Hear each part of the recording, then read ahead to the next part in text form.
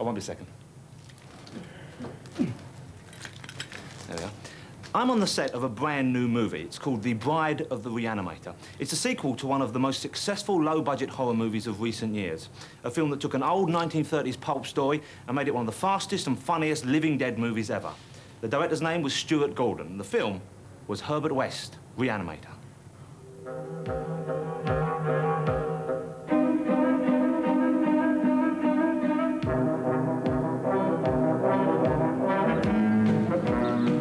I met up with Stuart Gordon in one of his favourite spots in Los Angeles, the prehistoric La Brea tar pits.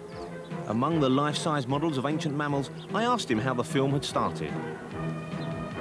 Someone said, well, have you ever read Herbert West Reanimator? And I'd never heard of it. And I went to the library, and it turned out that the book had been out of print for years. I mean, I think since, since it was originally, you know, published in the 20s. And I had to put in a request for it, you know, and uh, it was in our special collections. And six months later, I got a postcard saying that I could come to the library and read it there, but I wouldn't be allowed to take it out of the library. And I got there, and they gave me this book, and it was like uh, uh, pulp, an old pulp book, and the pages were literally crumbling in my hands, you know, as I was turning the pages. And so I said, I better Xerox this thing. And that's, that's how I found the story.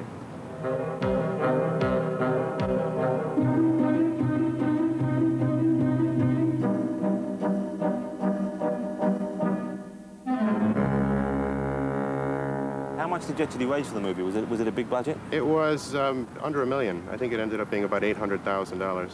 Which is a tiny amount. It is. Uh, when it was, the whole movie was, was shot in 22 days. We all want to retain our personalities in some idyllic afterlife. We all pray for some miracle, some drug, potion, pill.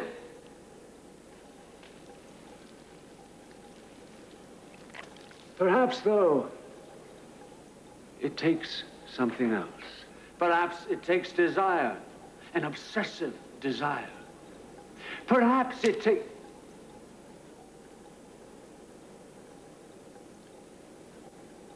We will discuss the location of the will in the brain structure at another time.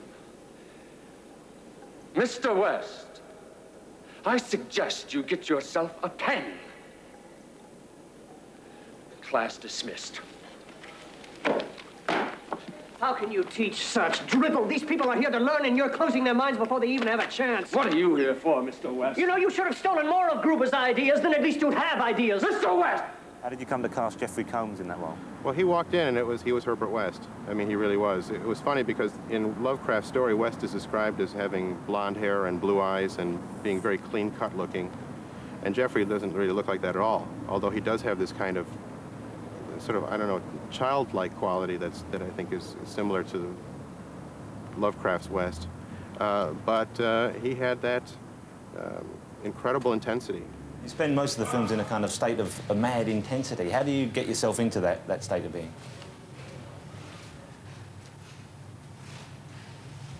That's all I do. the thing about West that you, you get from Lovecraft's story, and I, and I tried to get in the movie, is that this is a guy who only wants to do one thing.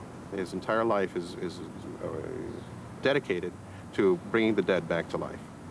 And conquering death, I guess is what you'd say, which is a wonderful dream. You know, it's one of those things that doctors have been trying to do forever. And there are doctors I found out that are actually working on, you know, serums very similar to Herbert West, uh, you know, in real life. We can defeat death. We can achieve every doctor's dream. You'll be famous and live lifetimes. You haven't done this on people.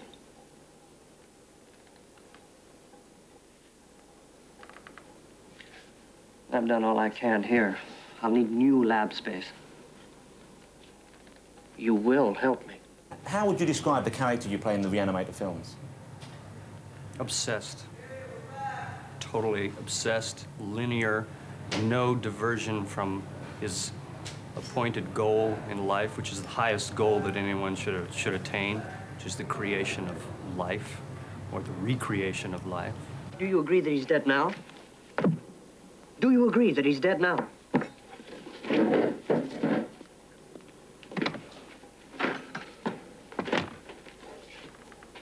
West. No. He's just got the blinders on. doesn't see anything except his goal, which is, I think, for a lot of people that, that, that see this movie, uh, uh, I think that they probably appreciate that, whether they want to admit it or not. There is something admirable about someone who will not stop. The brain? Of course. Don't expect it to tango. It has a broken back.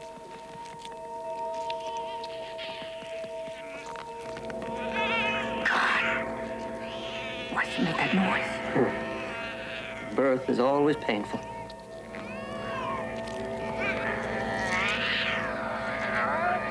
He was dead. Twice. I spent a lot of time in the uh, morgues of America, you know, doing the research on this movie. And uh, I've discovered that the way that death is portrayed in film is, has nothing to do with, there's no basis in reality whatsoever. You know, they always make the people look gray and they put dark circles under their eyes and maybe some blood in their mouths and that's it, you know. But uh, I, I got a chance to, to meet uh, some pathologists who were all too happy to have someone to talk to because no one ever visits them down in the morgue. And uh, they showed me all of the, the, they took me on a tour that I'll never forget. We failed. Come on, let's go. Somebody be coming any minute. He failed. Not I.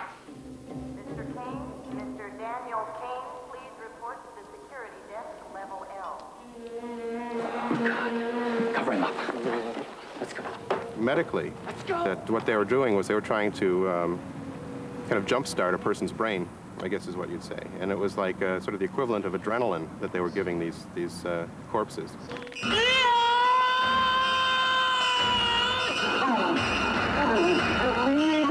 I wanted to depart from, you know, the Romero approach to have the zombies be like speed freaks. You know, that they were completely charged up. They'd just gotten like this voltage shot through them, which is what I would tell the actors that were playing the zombies. They pretended you've just gotten, you know, stuck your finger in a light socket. And, uh, you know, that all of your nerves are just firing and you just can't stop moving. And uh, it, was, it was good. It worked out real well. Perhaps the most enduring and endearing image of the film is the corpseless head of Dr. Hill, the former lecturer with whom West has argued.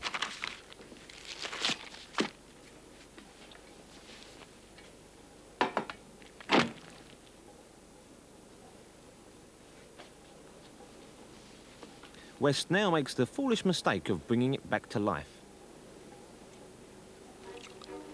Yes.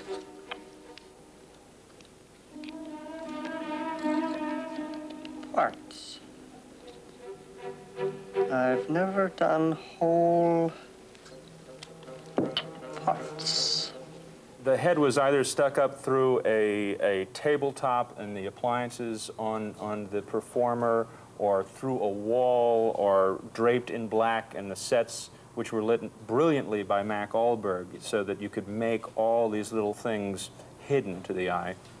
And of course, we worked very, very closely with Stuart, who, whose vision it really was, who um, worked out all of these little things in great detail. There wasn't a visual effect, uh, post-production visual effect in the entire movie.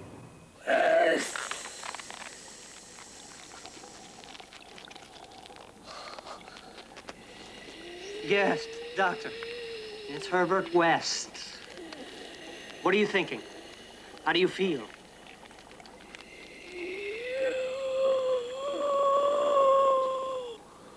You?